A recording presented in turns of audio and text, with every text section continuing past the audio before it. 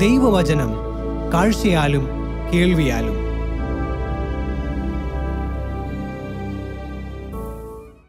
ആവർത്തന പുസ്തകം പതിനഞ്ചാം അധ്യായം. ഏഴേഴ് ആണ്ട് കൂടുമ്പോൾ നീ ഒരു വിമോചനം ആചരിക്കണം. വിമോചനത്തിന്റെ ക്രമം എന്തെന്നാൽ കൂട്ടുകാരന് വായ്പ കൊടുത്തവനെല്ലാം അത് ഇളച്ചു കൊടുക്കണം യഹോവയുടെ വിമോചനം പ്രസിദ്ധമാക്കിയതുകൊണ്ട് നീ കൂട്ടുകാരനെയോ സഹോദരനെയോ ബുദ്ധിമുട്ടിക്കരുത്.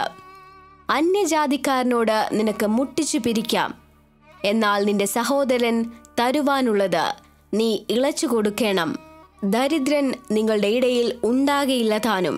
നിന്റെ ദൈവമായ ഹോബയുടെ വാക്ക് നീ ശ്രദ്ധയോടെ കേട്ട് ഇന്ന് ഞാൻ നിന്നോട് ആജ്ഞാപിക്കുന്ന സകേല കൽപ്പനകളും പ്രമാണിച്ചു നടന്നാൽ നിന്റെ ദൈവമായ ഹോവ നിനക്ക് അവകാശമായി കൈവശമാക്കുവാൻ തരുന്ന ദേശത്ത് നിന്നെ ഏറ്റവും അനുഗ്രഹിക്കും. നിന്റെ ദൈവമായ ഹോവ നിനക്ക് വാഗ്ദത്തം ചെയ്തതുപോലെ നിന്നെ അനുഗ്രഹിക്കുന്നത് കൊണ്ട് നീ അനേകം ജാതികൾക്ക് വായ്പ കൊടുക്കും.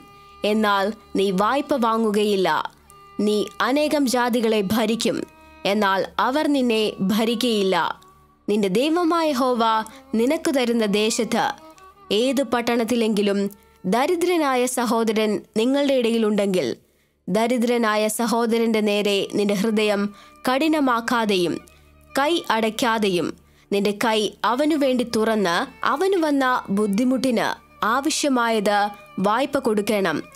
വിമോചന സംവത്സരമായ ഏഴാം ആണ്ട് അടുത്തിരിക്കുന്നു എന്നിങ്ങനെ നിന്റെ ഹൃദയത്തിൽ ഒരു ദുർവിചാരം തോന്നുകയും ദരിദ്രനായ സഹോദരനോട് നിന്റെ കണ്ണ് നിർദ്ദയമായിരുന്ന് അവനൊന്നും കൊടുക്കാതിരിക്കുകയും അവൻ നിനക്ക് വിരോധമായി യഹോവയോട് നിലവിളിച്ചിട്ട് അത് നിനക്ക് പാപമായി തീരുകയും ചെയ്യാതിരിപ്പാൻ സൂക്ഷിച്ചുകൊള്ളുക.